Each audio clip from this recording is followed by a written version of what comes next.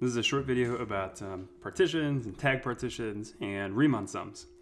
So I've talked about partitions too uh, when I talked about gauge functions for um, continuity. Anyway though, so I'll remind you of this though. Given an interval i, that's the closed interval from uh, a to b here, um, recall that a tagged partition uh, of this interval is the following. So it's a collection of non-overlapping subintervals. And when I say non-overlapping, it's okay if the endpoints overlap, but nothing else.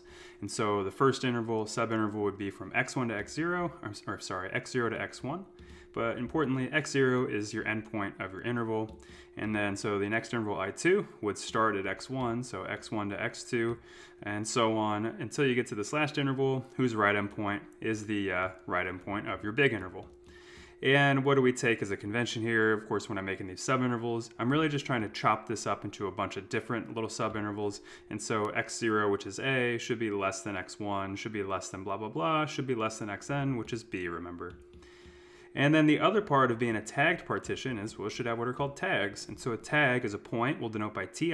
So you pick a point in each one of these subintervals ii, and that's what we'll call a tag. And so when we have these two things together, subinterval with the tag in that interval, we usually denote that as an ordered pair, like i1, t1. And then so the collection of all those subintervals with their tags is called a tagged partition.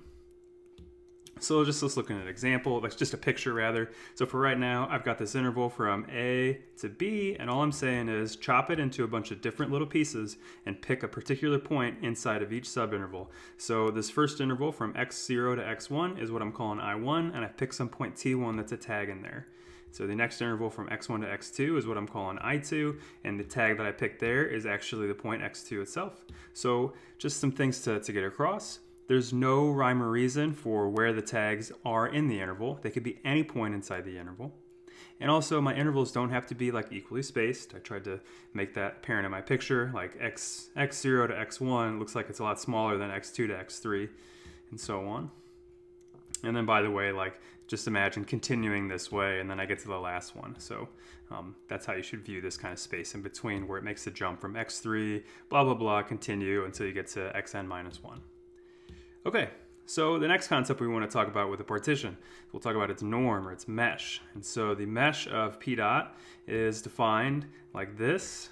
And so these two bars looks like two absolute values. We'll call that a norm probably. If you take a linear algebra class, you might call it a norm there too. Uh, but what is it? It's the maximum of any of these numbers, x1 minus x0 or x2 minus x1, blah, blah, blah. So pick the biggest one of these numbers and that's the norm. Another way to think about those, it's the length of the longest subinterval in your partition.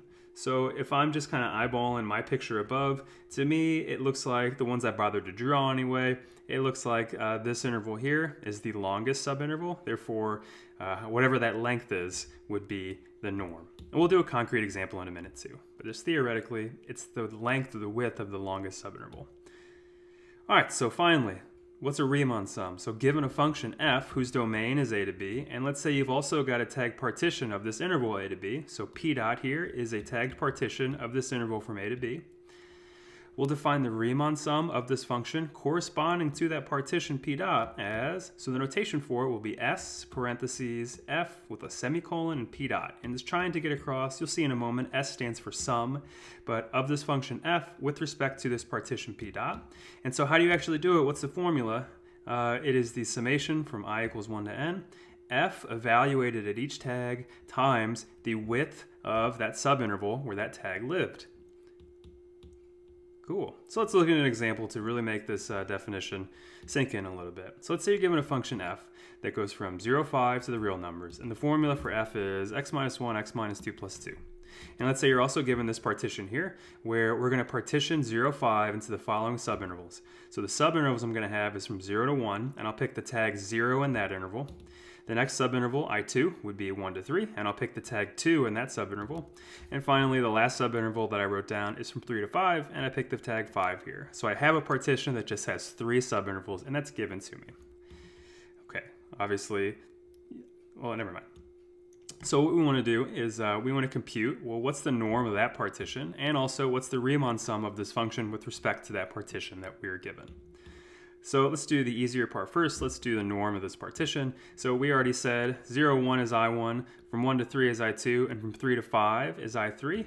And I'm just going to compute the length of each of those. So I1 has length 1, uh, I2 has length 2, and I3 has length 2 as well. And I just look at what's the biggest of those numbers, 1, 2, or 2? Well, 2 is the biggest. Therefore, the largest length is 2, and so the norm of this partition uh, is equal to 2. Next thing we want to do is compute what is the actual value of the Riemann sum for this function x, one, x minus 1, x minus 2 plus 2 with respect to these here. And this is where the tags come into play. And so I, in the picture, um, you see that uh, the tags kind of determine what you're going to plug into your function. So um, what would this be? So I've got three, um, I should have three terms in my sum. So uh, let's actually do them. So the first one would be f of 0, the first tag, times the width of the interval where that tag lived. So that's where I'm getting 1 minus 0 here, is that width, plus f of 2 times 3 minus 1, right? That's the width. 3 minus 1 is the width of that subinterval, or the length. I say those a little bit interchangeably.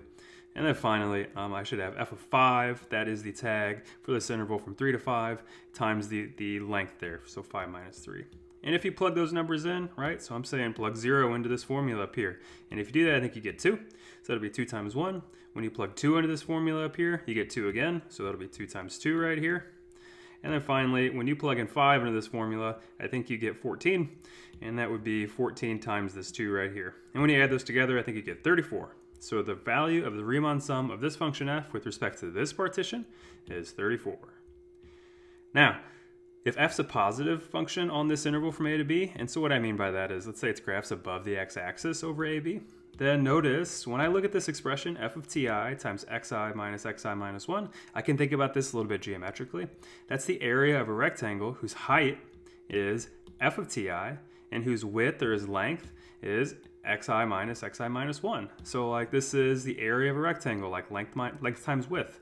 I've got a picture for you too. Got that function f. So I've got those two endpoints, xi minus 1 and xi, and I pick some tag in between them. I just want us to realize that uh, the area of that rectangle would be the height, which is f of t i, times the width, which would be, again, the length of the subinterval. So what's another way to think about what is this Riemann sum doing? Well, what we've got is this is the area of a rectangle, is what I'm trying to convince you of here, and this says, hey, add up all the areas of the rectangles that you have depending on your partition. So in my case above, I have three rectangles. I'm about to draw you a random picture down here where I have some new function that looks like it has four rectangles, say, and so the Riemann sum for that function with those tags that I picked would again compute that shaded area